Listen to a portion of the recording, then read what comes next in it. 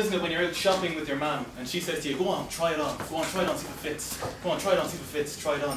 And you have to say to her, come on, mum, I can buy my own condoms. now, uh, I read the magazine, uh, apparently women like men who are dangerous. Oh yeah, women like men who are dangerous, and uh, I read that in a magazine uh, while I was driving.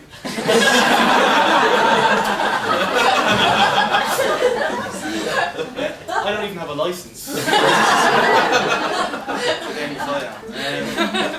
my uncle, tragically, he's uh, unable to have children uh, because he's a man and they can't get pregnant. but he's, he's going out with a Russian woman, and uh, inside of her there's an even smaller Russian woman. She's a real doll. She really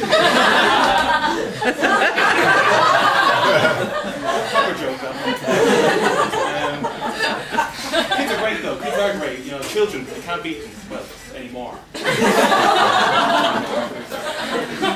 I was, uh, I was getting the bus the other day, and uh, I was first in line at the bus stop, and the bus stop comes and stops directly in front of me.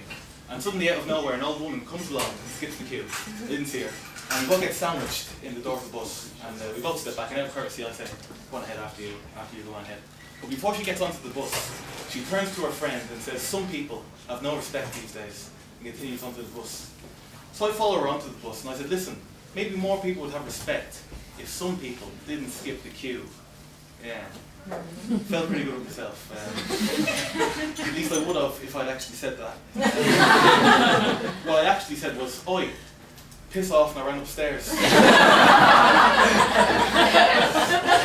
think of anything else to say. Um, any smokers in? Any smokers? No? Yeah. I don't think that's an appropriate response.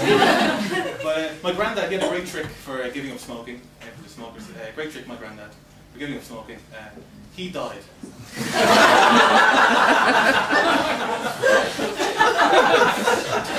and he hasn't smoked since. Uh, I tell you what though, I tell you what, if I had a euro, if I had a euro for every single time I was at one of those car parking meters, it would come in really handy, wouldn't it?